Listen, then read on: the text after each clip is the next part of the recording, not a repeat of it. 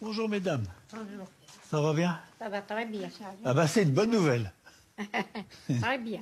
Vous parlez français aussi Un peu. Les femmes ici travaillent au champ. Oui. On va chercher de l'eau à la fontaine, mais le français, il est parti. Ah, vous avez Ouais. oublié tout Ouais. ça. Voilà. Ah. Et il n'y a pas d'eau dans les maisons? Maintenant, Maintenant, il y a de l'eau. Ouais. Mais pourquoi vous allez encore chercher de l'eau à la fontaine alors?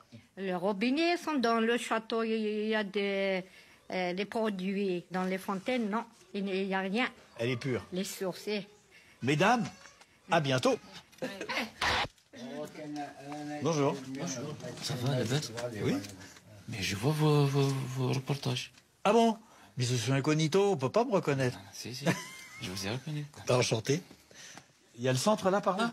Le, le, le centre du village, il est Oui. juste euh, tout près. D'accord. Ah bah, ben ça.